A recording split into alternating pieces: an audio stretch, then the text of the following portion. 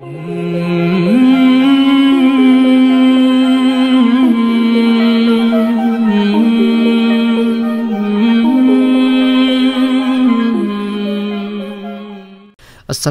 वरहमतुल्लाहि वबरकातुहू। हिंदू हजरात से आपको ये बात सुनने में मिलती है अक्सर कि वो कहते हैं कि हमारा धर्म सबसे पुराना है, हम सबसे पुराने हैं, और इस्लाम तो सिर्फ़ 1400 साल पुराना है। और ये वो क्लेम इसलिए करते हैं क्योंकि वो इस्लाम को जानते नहीं। इस्लाम की तालीमात से वाकिफ़ नहीं। वो सिर्फ़ अपनी धार्मिक किताबों को सामने रखते हुए ये राय का इजहार करते हैं। असल में, अगर सवाल ये किया जाए कि इस्लाम मज़हब कब से है? क्या आदम सलाम और नू सलाम, क्या आदम सलाम जो सबसे पहले इंसान है? जैसा कि इस्लाम में भी यही है, दीन यहूद नसारा में भी यही है तो अहले किताब के यहाँ भी यही कॉन्सेप्ट है। तो आदम सलाम का क्या मज़हब था? नू सलाम जो पहले रसूल हैं, उनका क्या मज़हब था? क्या ये सब इस्लाम पर थे? क्या ये सब मुसलमान थे? और फिर ये कि हिंदू मज़हब सबसे पहले आया, क्या ये सही है? बहुत सारे सवाल हैं, आपस में मिलते जुलते सवाल हैं। तो अब इसको देखते हैं कि देखें जी दीन इस्लाम के कुछ बुनियादी असूल हैं और तालीमत हैं। जो बुनियादी अकीदा है, वो क्या है? एक, अल्लाह की इबादत करो। उसके साथ किसी को शरीक ना करो। बुतों की पूजा ना करो, किसी सितारों, किसी और बींग की, जैसे सूरज हो गया, सांप हो गया, चूहा हो गया, हाथी हो गया, कोई और चीज़ उसकी परस्तिश नहीं की जा सकती। ताज़ीम, उलूहियत, रबूबियत, ये सब अल्लाह का हक़ है, वही रब है, वही पालनहार है, वही है जिसकी इबादत की जाएगी। ये तो अकीदा है उसकी जिसकी परस्तिश और इबादत की जाएगी। साथ साथ ये भी अकीदा है, क्योंकि ये भी वो सवाल उठाते हैं कि भाई क्या तुम्हारे खुदा को तुम्हारी इबादत की ज़रूरत है? नहीं। खुदा तो ज़रूरत से पाक है। हमें ज़रूरत है कि हम उसकी इबादत करें, क्योंकि हमारी क्रिएशन का, तख्लीक का, बनाने का मकसद ही यह है कि कुरान करीम ने इसको यूँ ही बयान किया है कि अल्लाह ताला फरमाता है कि मैंने इंसानों और जिनों को अपनी इबादत के लिए पैदा किया। नहीं, उसको ज़रूरत नहीं है। ये तो हमारे लिए ये काम किया है ताकि हम अपनी बेहतरी कर सकें। उसकी मर्ज़ी, उसकी हमत उसने तख्लीक किया। उसकी हमत पे सवाल उठाने वाले हम कौन होते हैं? हम क्या, हमारी औकात क्या? लेकिन चूँकि उसने इसको तख्लीक जो किया है, वो मुकल्लफ बनाया है कि ये अपने किए पे जवाबते होंगे। जो करेंगे, उसका जवाब देंगे। और फिर इनको चॉइस का भी हक दिया कि भाई, तुम्हारे सामने दो चीज़ें होंगी। तुम जिसका चुनाव करोगे, ये तुम अपनी मर्ज़ी से चुनाव करोगे, और उस चुनाव का तुम जवाब दोगे। अच्छा फिर ये एक सवाल उठाते हैं, इससे मिलता जुलता कि भाई अगर चुनाव है तो तकदीर क्यों है? पहले तो समझो कि तकदीर क्या है। और फिर उससे मिलता हुआ एक और सवाल जो करते हैं कि भाई, तुम्हारे रब ने तो सब लिख रखा है तो जब लिख रखा है तो फिर चुनाव का क्या मकसद? देखें, लिख क्या रखा है, इसको पहले समझें। अल्लाह ताला की एक क्वालिटी है, जिसको हम कहते हैं सिफत सिफत। क्वालिटी वो ये है कि वो सब चीज़ का जानने वाला है। वो वो भी जानता है जो होने वाला है, उसके इल्म में है। क्योंकि उसके इल्म में तो हो गया पास्ट हो गया ना वो। हमारे लिए होने वाला है। उसने वो लिख रखा है जो हम करेंगे बाय चॉइस उसने हमसे ज़बरदस्ती वो नहीं करवाना। अब एक आदमी एक काम के लिए जा रहा है आप देख रहे हैं कि वो उस रास्ते पर गामजन है। You will eventually make a decision what कि भाई, ये ये काम करेगा, क्योंकि वो उस रास्ते की तरफ़ जा रहा है। अब आप ये कहेंगे कि आप उसे उस रास्ते की तरफ़ लेके जा रहे हैं? नहीं। आप उससे वो काम करवा रहे हैं? नहीं। वो काम अपनी मर्ज़ी से कर रहा है। लेकिन आप देख रहे हैं कि वो जिस रास्ते की तरफ़ जा रहा है, वो यही काम करेगा। तो इसी तरह इसको आपको समझाने के लिए ये एग्ज़ाम्पल दे रहा हूँ। वो रब सब जानता है, उसी ने सबको बनाया है। इन अलीम बिजात सदूर, अला यालम मन खलक, क्या वही नहीं जानेगा जिसने तुम्हें बनाया है? वो तो वो सब कुछ भी जानता है जो तुम सीनों में छुपा के रखते हो। तो वो जानता है अपने इल्म से कि तुम क्या करोगे। जब तुम्हें ये चॉइस दी जाएगी तो तुम कौन सी चॉइस पिक करोगे? ये चॉइस दी जाएगी तो कौन सी पिक करोगे? तो उसने फोर्स नहीं की चॉइस उसने अपने इल्म से उस चॉइस को लिख लिया है कि तुम ये इख्तियार करोगे। अगर तुम्हें हिदायत का रास्ता दिखाया जाए सही रास्ता दिखाया जाए तो तुम सही को चुनोगे कि गलत को चुनोगे? इसको वो समझ नहीं पाते। वो समझते हैं कि चीज़ें फोर्स्ड होती हैं। और यही मामला कदरिया जबरिया के साथ भी था कि वो अपने आप को मुसलमान कहते थे पर गुमराह फिरक़े थे। तो एनी anyway, तो ये भी एक कॉन्सेप्ट इनका है। उसको भी मैंने सोचा कि आज यहाँ क्लियर कर दें। तो बुनियादी उसूल जो है वो क्या है कि एक रब की इबादत और उसे हमारी इबादत की हाजत नहीं है। हमें उसकी इबादत की हाजत है कि हम उसके बंदे हैं। उसी तरह जिस तरह आप एक शख्स को अपने घर नौकरी पे रखते हो, वो आपका सर्वेंट होता है। उसका काम आपको सर्व करना होता है। वो अगर मोहल्ले भर में सबको सर्व करता फिरे और आपको सर्व ना करे तो आप क्या करेंगे उसे? यू विल किक आउट तो बस यही है कि जो अल्लाह ताला का बंदा है, उसे अल्लाह ताला की इबादत करनी है। और जो उसकी इबादत नहीं करता, उसे वो किक आउट कर देता है। कैसे? कि भाई तुम मुसलमान नहीं हो। तुम हिदायत याफ्ता नहीं हो। तुम काफिर हो। तुम मुशरक हो। तुम मुसलमान नहीं हो, क्योंकि तुम उसकी इबादत नहीं करते। ये किक आउट है। शैतान को रजीम इसीलिए कहते हैं क्योंकि वो रहीम की रहमत से दूर हो गया, मरदूद हो गया। उसने जो चॉइस इख्तियार की, उस चॉइस ने उसे मरदूद कर दिया। वो बुलाने के बावजूद वापस नहीं आया, अकड़ गया, अपनी अना पर आ गया, अहंकार उसके अंदर था। उसके अंदर ईगो था कि मैं कैसे, मैं ही सब कुछ, ये मैं के घोड़े पे जो चढ़ गया तो बर्बाद हो गया। और यही वजह है कि ये जो श्लोक बाज सवाल करते हैं, वो अपनी अना में ऐसे अकड़े हुए होते हैं कि वो हिदायत चाहते नहीं, बस वो सवाल करना चाहते हैं। तो दीन के असूल और दीन की तालीमत और बुनियादी अकायद कि अल्लाह की इबादत और एक अल्लाह की इबादत और गैर की इबादत नहीं किसी गैर की इबादत नहीं, कोई और रब नहीं, वही तुम्हारा रब है, वही तुम्हारा इला है, सिर्फ़ उसी की इबादत की जाएगी और उसके बताए हुए उसूलों पर चला जाएगा। हर ज़माने में उसने अपने नबियों को और अपने रसूलों को क्यों भेजा? ताकि ये हिदायत का जो मामला है, वो हम तक पहुँचता रहे। हर ज़माने के अपने उसूल होते हैं, अपने उसलूब होते हैं। अच्छा हर नबी सारी दुनिया के लिए भी नहीं आए अपने अपने इलाकों के लिए आए।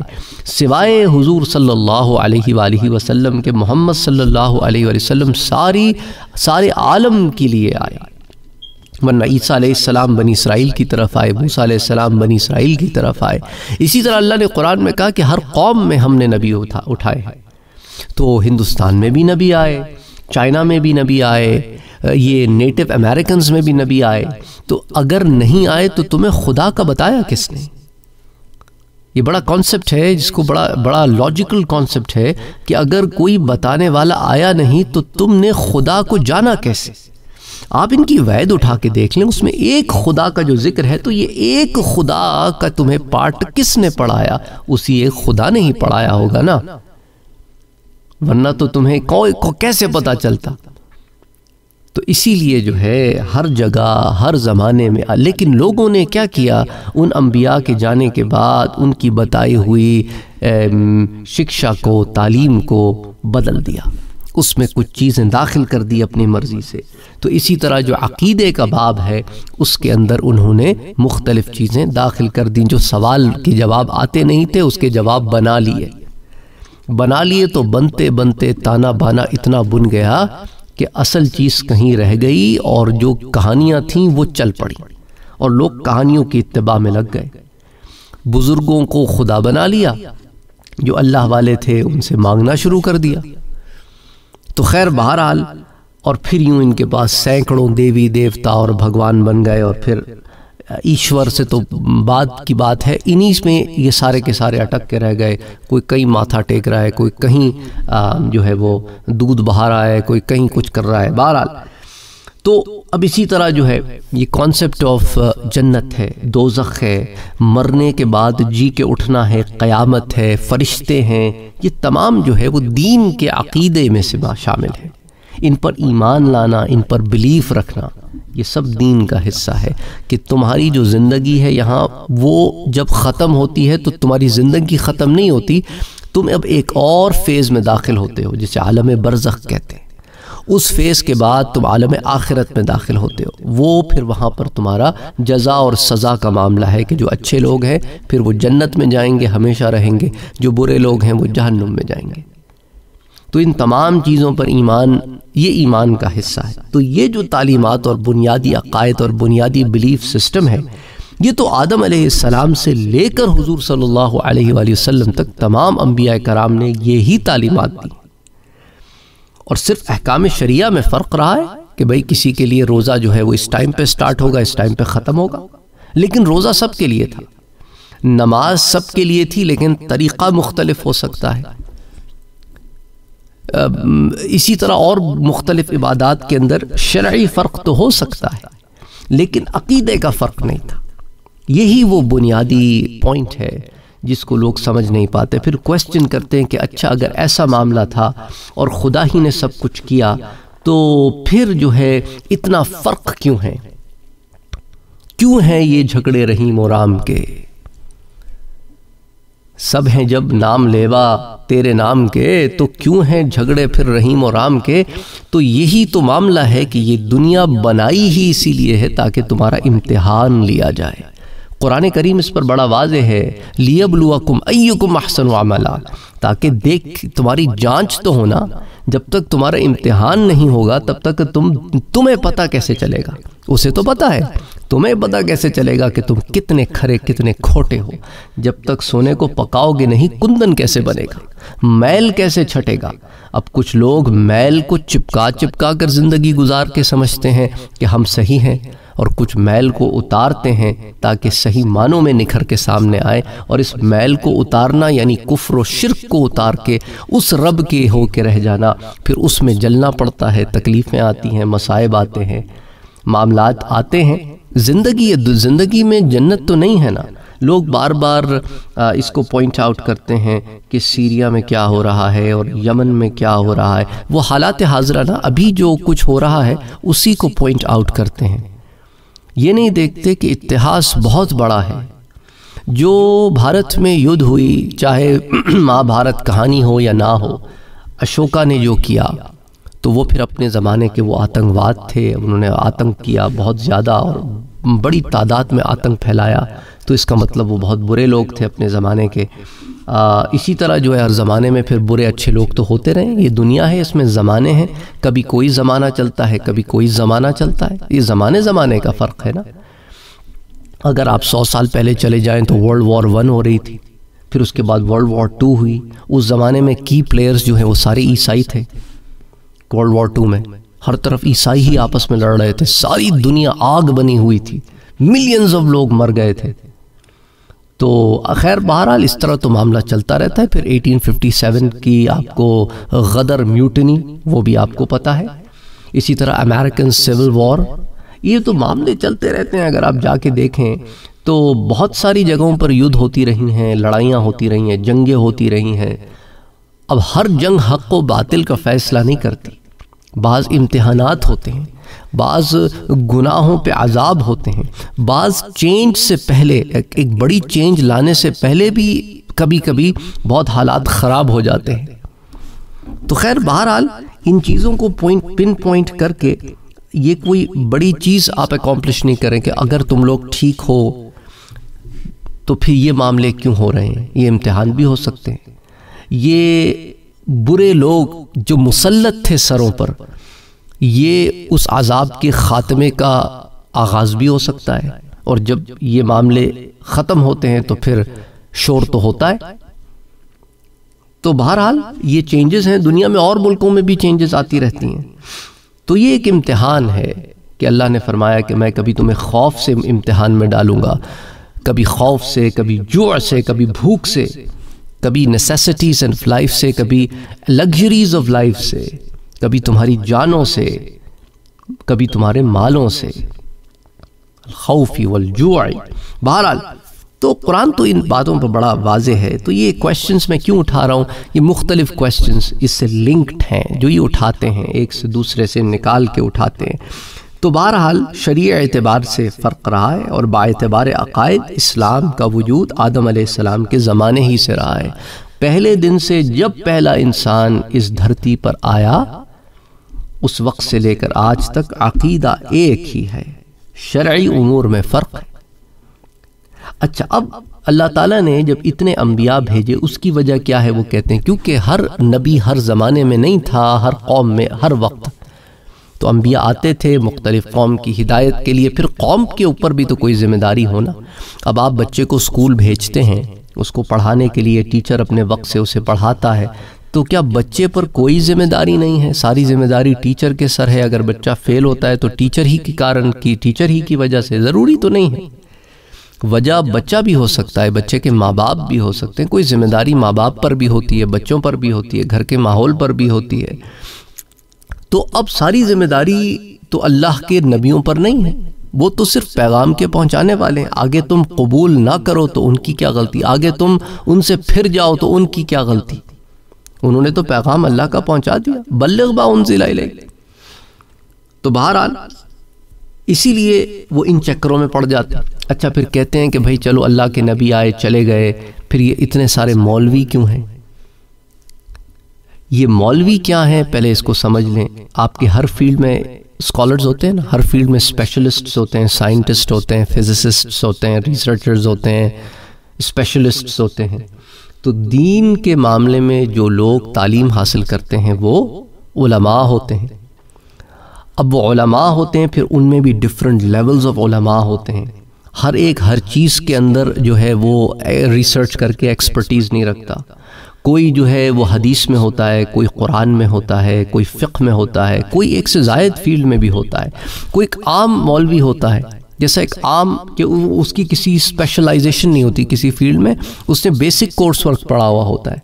ऐसी ना जैसा कि आपके पास एक बैचलर्स होता है, एक मास्टर्स होता है, एक एम होता है पीएचडी होता है। दर्जा पर दर्जा होते हैं, अब आप कहते हैं इतने सारे पीएचडी क्यों हैं भाई?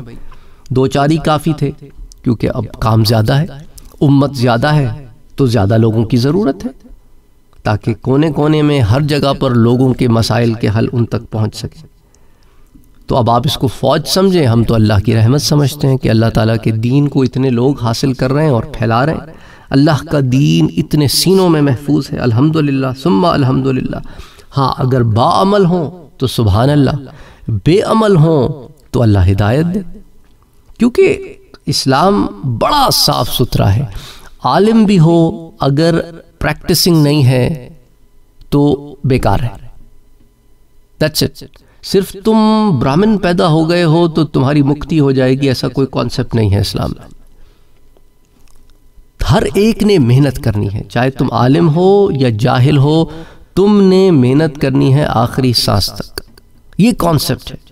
मुसलमान भी अगर गुनाहों की ज़िंदगी गुजारेगा और अच्छे काम नहीं करेगा तो वो भी जहन्नुम की आग में, नर्ग में जाएगा। अपने ईमान की वजह से अगर दिल में ईमान है तो जन्नत में दाखिल हो जाएगा। इवेंचुअली पर नर्क से मुक्ति नहीं मिलेगी, उसे छूट नहीं मिलेगी। मैं हिंदी के लफ्ज़ इसलिए इस्तेमाल कर रहा हूँ कि हो सकता है इसको बाज़ हिंदू हजरात भी सुन, सुने, या या आप में से भी कुछ लोगों को शायद उर्दू इतनी अच्छी ना आती हो। मैं तो हिंदी ज़बान नहीं जानता लेकिन कुछ कुछ अल्फाज जो मुझे आते हैं वो मैं इसमें इस्तेमाल करने की एक तालब इलमाना कोशिश कर रहा हूँ। हो सकता है मुझसे प्रोनाउंसिएशन में कोई गलती हो गई हो। एनी anyway, तो इस्लाम का जो नाम है उसका कॉन्सेप्ट है उस कॉन्सेप्ट को अगर आप देखें तो शुरू से एक ही रहा है पहले दिन से। ताखा इसे इस्लाम के नाम से आप मौसूम करें या ना करें। इस्लाम के नाम से आइडेंटिफाई करें या ना करें। वो इस्लाम ही के अकीदे क्योंकि उम्मद मोहम्मदिया के लिए अल्लाह ताला ने इरशाद फरमाया कि हुआ सम्मा कुमुल मुस्लिमीन, उसने तुम्हें मुसलमान का नाम दिया है। तो गोया मालूम यह होता है कि नाम एग्जिस्टिंग है। कोई नई चीज़ मोरज वजूद में नहीं आए क्रिएटेड नहीं है। तो उम्मत मोहम्मदिया, यानी मोहम्मद सल्लल्लाहु अलैहि वसल्लम के फॉलोअर्स अब ये एक आगे कैटेगराइजेशन हो गई मुसलमानों में। तो इसे इस्लाम से ताबीर किया जाना भी शरीयत मोहम्मदिया के लिए बात कहते हैं, ख़ास है। लेकिन अगर कॉन्सेप्ट देखे जाए, अकीदा देखा जाए तो पहले दिन से यही कि इन दीन इस्लाम, कि अल्लाह के नज़दीक दीन इस्लाम ही है। और दूसरे नबी के फॉलोअर्स मुतब के लिए, बाज़ दफ़ा मोमिन का लफ्ज़ आया ईमान वाले।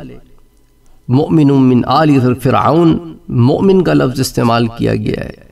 लिहाजा अब इस्लाम नाम हुआ। तो इस, इन उसूली अकायद जो आदम सलाम के वक्त से मुतफ़ा चले आ रहे हैं, शरीयत मोहम्मदिया के मजमू का इस लिहाज से दूसरे नबियों के मानने वालों को मुसलमान नहीं कहेंगे अलबत् इजाफत के साथ कहने की गुंजाइश है।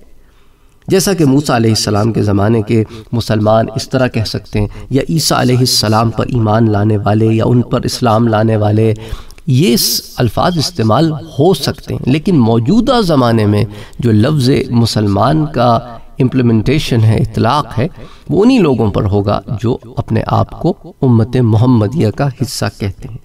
अब जहाँ तक ये है कि हिंदू क्लेम करते हैं कि हम सबसे पुराने हैं तो वो एक क्लेम है। वो अपनी किताबों की बेसिस पर ये क्लेम करते हैं क्योंकि उन किताबों के पीछे उनके पास कुछ नहीं है, उन किताबों की अपनी सनत भी उनके पास कुछ नहीं है। हाँ हम ये कह सकते हैं कि गुमराही में सबसे पुराने हैं। मेन अकीदे से भटकने वाले सबसे पुराने लोग जो इस वक्त अपनी शक्ल में मौजूद हैं, कि जिन्होंने अपनी तालीमात को भुलाकर ख़ुद तालीमात घड़ ली और अब उन घड़ंतु तालीमात को वो एक धर्म कहते हैं। हाँ उसमें पुराने हैं। गुमराही में सबसे पुराने हैं और अब इसका मतलब है कि इनको हज़ारों साल से दावत दी जा रही है कि अब आ जाओ हिदायत की तरफ़, पर हिदायत का रास्ता इख्तियार करने के लिए राज़ी नहीं होते। तो उससे बड़ा बेवकूफ़ कौन होगा कि जिसे इतने अरसे तक सही रास्ते की तरफ़ बुलाया जाए और फिर भी सही रास्ते को इख्तियार ना किया जाए और गलत रास्ते को सही रास्ता समझता रहे? तो अब हम क्या कह सकते हैं? हम तो बता रहे हैं कि भाई सड़क ये है, अब तुम जंगल में जाकर गुम होना चाहते हो तो तुम्हारी मर्ज़ी। अब उसका तुम तकदीर को दोष ना दो। अपनी अकल को दो। अगर आपने अभी तक हमारे चैनल को सब्सक्राइब नहीं किया है तो सब्सक्राइब का बटन दबाएँ, बेल के आइकॉन को प्रेस करें, ताकि आपको रेगुलर नोटिफिकेशन अपडेट मिल सके और आप हमें हमारे लाइव सेशंस में भी ज्वाइन कर सके। वीडियो पसंद आने की सूरत में लाइक, शेयर और कमेंट करना ना भूलें।